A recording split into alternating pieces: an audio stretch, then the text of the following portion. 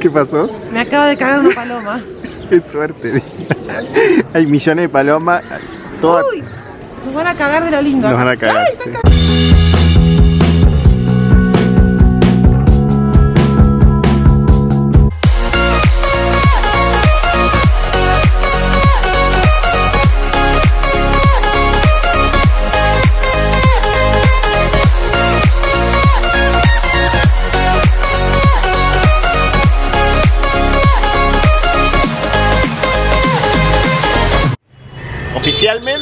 En Nepal. Nepal.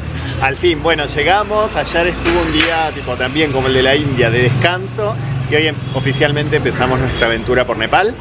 Estamos en la zona del Tamil, que es como el lugar donde la parte más turística. Después le vamos a mostrar el hotel y la habitación. Es un poquito fresco el hotel. Sí, ¿no? nos morimos de frío, mal. Morimos de frío, no tienen calefacción ni nada. Sí tienen aire acondicionado, Sí, sí, eso para, sí. El, para el verano, pero para el invierno está fresquito acá. Bueno, así que le vamos a mostrar la zona del Tamel. Eh, no tiene veredas esto. Acá tenés entonces- que mirar cu- cuidado para ver las vidrieras porque te pones a mirar una vidriera y te pasan por encima. Bueno, eh, lo que hay, bueno. Los negocios. Pero se te pasa por encima. Sí, ya les vamos a mostrar, vamos a mostrar un poco todo. Es un poco desorganizado. Katmandú es la capital de Nepal, pero siendo una capital es bastante como rústica o pobre. Precaria, digamos. Precaria, sí, precaria. Y hay muchas motos, este, muchos autos, mucha gente. Salimos bien tempranito y ya van a ir viendo que como, como es difícil moverse por acá y estar atento, hay que tener como 20 ojos por todos lados porque si no te pasan por encima. Así que bueno, ahora les mostramos un poco la zona del Tamel y nos vamos a ir a Durbar Square, que es como la plaza principal. Y bueno, a disfrutar. Bienvenidos a Nepal, Maxi con mochila y Dina.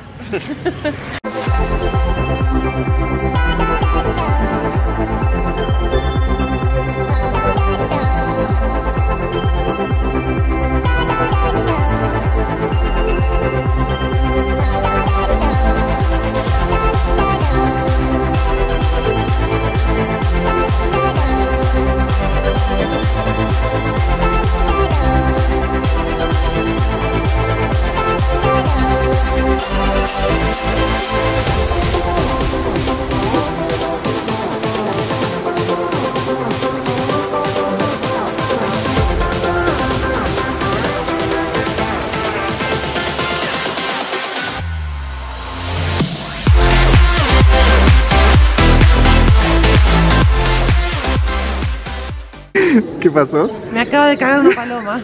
Qué suerte. Hay millones de palomas. Uy, nos van a cagar de lo lindo. nos van a cagar. Ay, sí.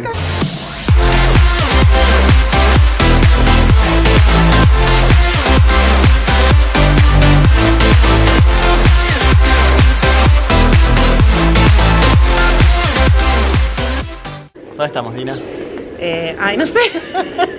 En Nepal. En Nepal, Pero eso bueno, sí, bueno, eso sí. Pero es no una sé plaza y lo que está ahí atrás es lo que se llama estupa, que hay varias, es como el centro, digamos, religioso, como varias, y es donde están como esas, este, esas rodillos que pasamos recién, eh, en cada una de esas estupas, ahí ahora ya aprendimos que hay que hacerlo en las agujas del reloj, sino del otro lado. Eh, Mala da mala suerte. Está lleno, lleno de palomas y hay como varios, varios este, Deidades. deidades o cositos donde están este, distintos budas y distintos dioses. Eh, hay una estupa que es mucho más grande que esta, que después la vamos a ver en otro video probablemente, eh, que es como una de las más grandes de Asia.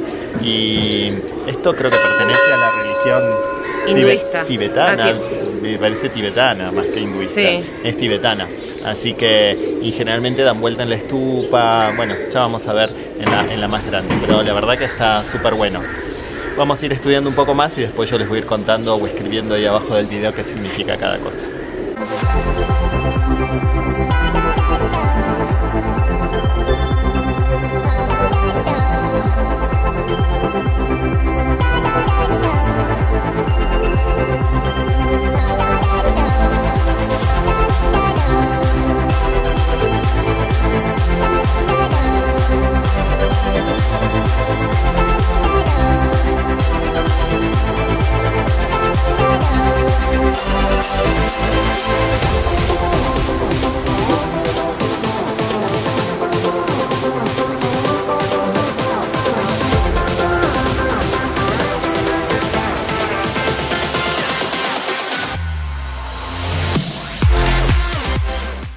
Bueno, acá estamos. Este es como el templo de. Es el templo de la diosa Kumari, la diosa viva, que es una nena que desde los cuatro años hasta la pubertad eh, está encerrada en este templo.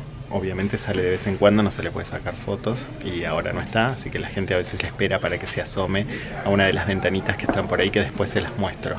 Eh, ella queda encerrada acá con su familia, no puede ir al colegio ni nada, le enseñan todo acá adentro y bueno, y se hace una selección de varias niñas y queda acá. Y es la niña o la diosa viviente eh, que se llama Kumari. Y así que les muestro un poco la parte del templo de adentro. Si aparece, aparece y es buena suerte. Y si no aparece, bueno, no importa, igual no la podemos filmar. Y la pudimos ver, ¿no? Vimos a Kumari, sí. Sí, no se le puede sacar fotos ni nada, así que tuvimos suerte. Apareció un ratito, avisan siempre antes de que no saquen fotos, no saquen fotos, no saquen fotos. Y apareció y justo un estúpido sacó fotos y la nena se, se, se volvió a meter. Se volvió a meter y... Es chiquitita, debe tener cuatro años, nos dijeron. Eh, nada, es una nena. Sí, está toda pintada, pero es una nena, en realidad nada en especial, pobrecita, la tienen acá como secuestrada, pero bueno, es una diosa, es una, es una reencarnación de una diosa. Nada. Lo que no sabemos todavía es cómo la eligen. Sabemos que la eligen y en el Sí, momento en que, A los cuatro años. eh, que, me- que menstrua deja de ser diosa, o sea que vuelve a la vida normal, ¿no? Sí, sí, supuestamente la educación que le dan es para eso, para afrontar la vida, pero en realidad no es que va al colegio ni tiene educación para, no sé, ir a la vida universitaria más adelante, es como raro.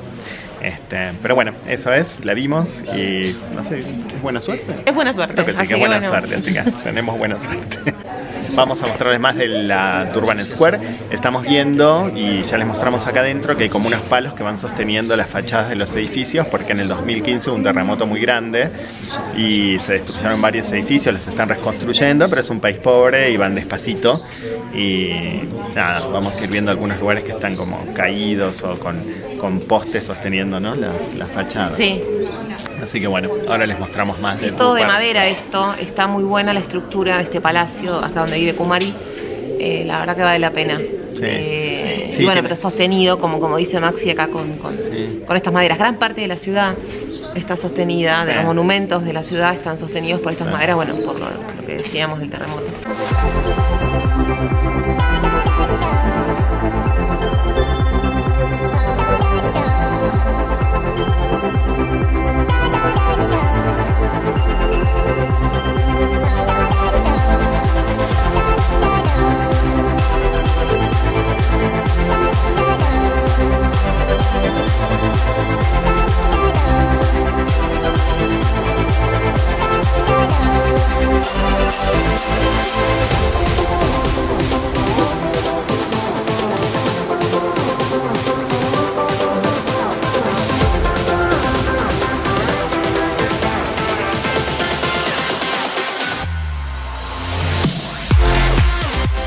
Bueno, y el templo que tenemos acá atrás es el templo de Jagannath, que es el más viejo de toda la plaza.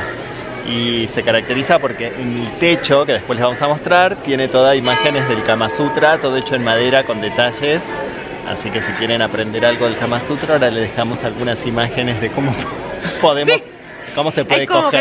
que, sí, vale todo, Vale lo que todo, vimos, vale todo. Vale todo, todos con todos. Todos contra todos. Y Sí. después lo, lo particular que nos dimos cuenta es que en las esquinas hay una embarazada. Sí. En todas las esquinas hay una con pancita, así que bueno, Sí. y sí, después de tanta, Sí, tanta pues, orgía, tanta cosa, y sí.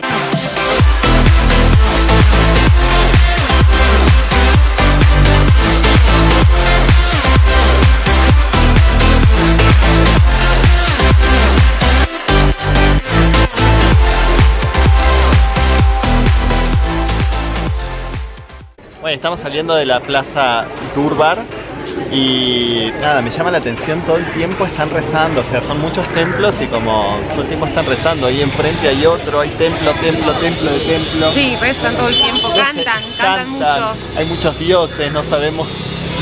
Hay dioses que tienen, que tienen forma de nada, no tienen cara, no tienen son todos de color naranja, no sé, algún significado debe tener. O por ahí tenían cara y se fue, se fue el yendo, raro. bueno, raro.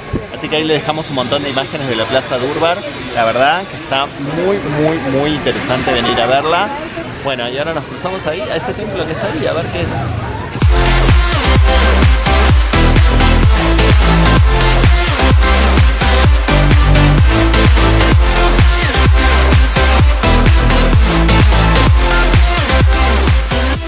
Después de caminar 20 cuadras llegamos al Templo de los Monos. Y antes de mostrárselo, les pido por favor que ahí abajo se suscriban, le den al botoncito, es gratis, no cobramos nada, eh, fácil, aprietan ahí y ya están suscritos al canal para cuando salgan más videos les avisa, ahí hay una campanita, si tocan la campanita les avisa y si no les va a avisar también cuando salgan más videos para que puedan ver videos de Maxi con Mochila y Dina acá en Nepal y después en la India. Bueno, vamos a subir al Templo de los Monos. Sí tiene 365 escalones. Y Así estamos descansando un poquito antes de emprender la subida. La subida. Em, obviamente hay monos y hay una estupa grande allá arriba, así que se, va, se puede ver toda, toda, toda Nepal desde allá arriba. Así que ahora les vamos a mostrar todas las imágenes y le mostramos a ver si es fácil o no la subida. ¿Vos, Tina, qué decís? Yo creo que es fácil. Yo creo que no. Pero ahí se ven, se ven los...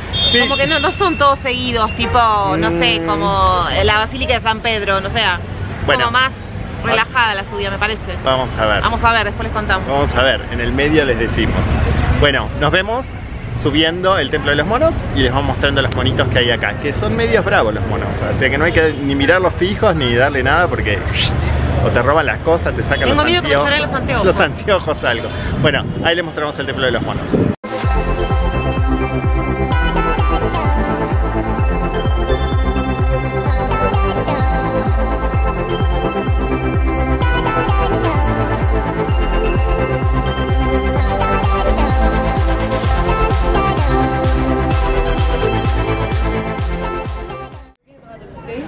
¿Era fácil?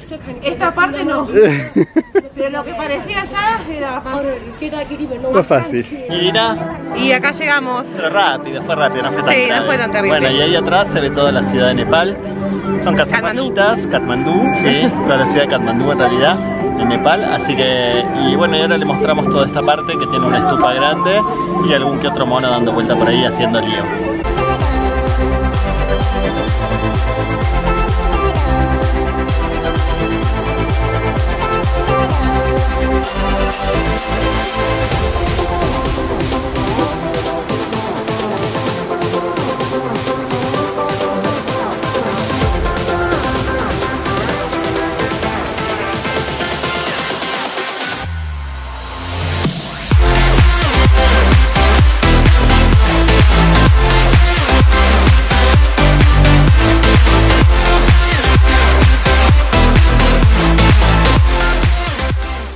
Atrás está la estupa. Y hay como cositas chiquititas, como estupas chiquititas acá.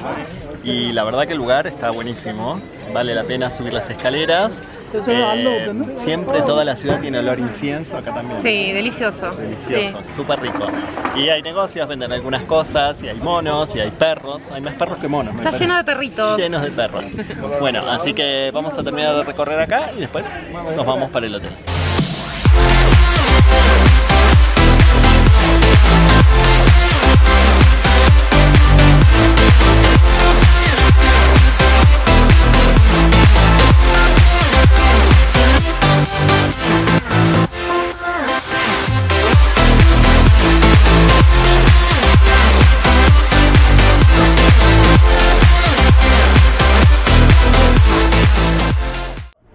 Terminamos este video que hicimos hoy, primer día de Nepal, Plaza Durbar y Templo de los Monos. Y el día estuvo increíble, buenísimo este lugar, buenísimo Katmandú, por ahora excelente. Se respira mucha paz. sí. ¿O no? Sí, mucha paz. La ciudad con un olor incienso en todos lados, mucho templo, mucha religión, mucha... nada, está muy muy buena. Así que nada, si algún día pueden venir, yo sé que es lejos, pero vale la pena.